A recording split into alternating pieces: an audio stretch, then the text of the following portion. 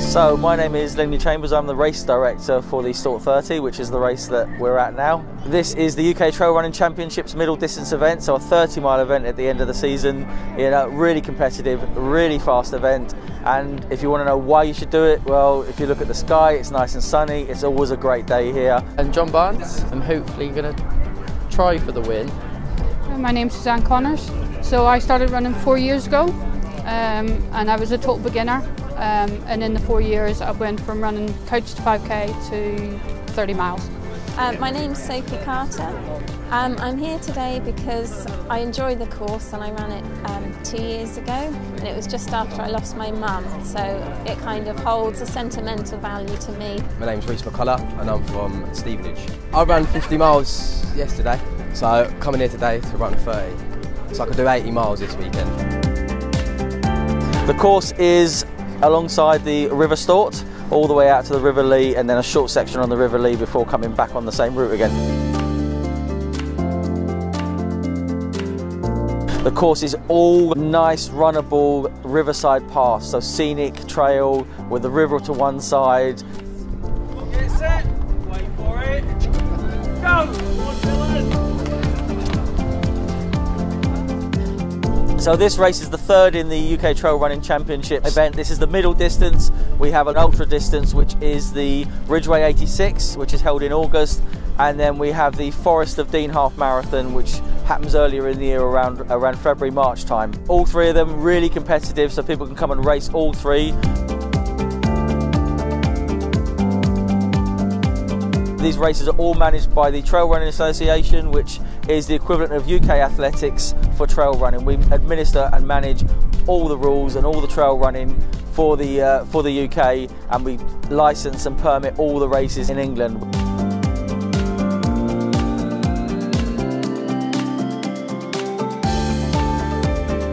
We provide grants to runners who perform well, such as this race, the first male and female finisher who are members of the Trail Running Association here will get a grant to run a race in the future, either abroad or here. Well done everyone.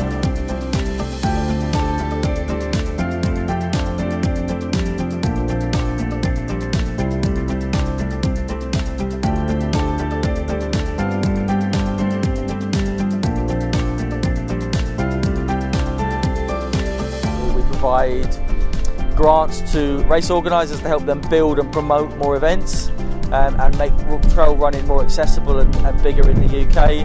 Um, and we obviously represent runners and organisers and helping to uh, you know keep them within the rules and making sure that they uh, that they comply with the rules, but also that we're there to support them through that process.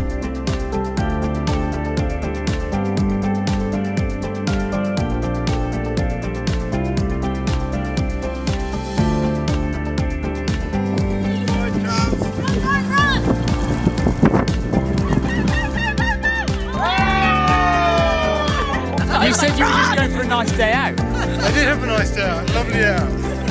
I just hurt a little bit now. We've got you know well over a thousand members now, um, and you know it's just growing and growing. Trail running itself is the biggest growing discipline in UK athletics over the last four or five years. We've gone from three or four hundred permits issued three years ago to just uh, in the next year it will be somewhere around 780 permits, which is something like 120,000 runners over all the races. So it's, it's, it's a fantastic number. Yeah, my first ultra. I, I've, I trained quite well for it, so So second place, you must be pleased. yeah, I was happy. I was, I was hoping to come like minimum top three, sub three ten, which I did. But I was, I was hoping to run sort of a bit, bit more even pace than I did.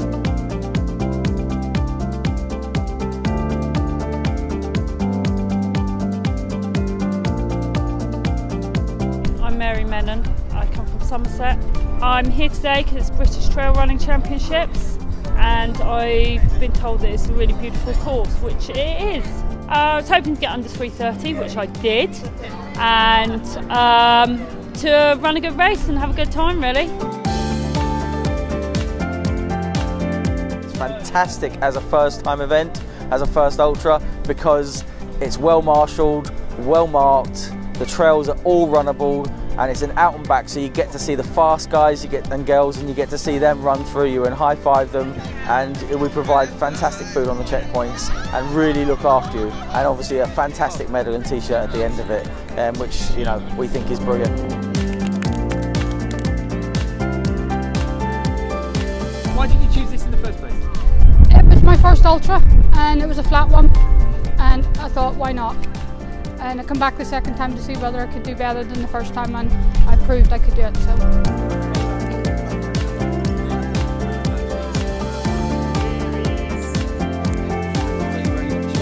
That was easy, wasn't it? Oh, it's so easy. The best, easiest thing I've ever done. Easiest 80 miles you've ever run, Yeah. isn't it?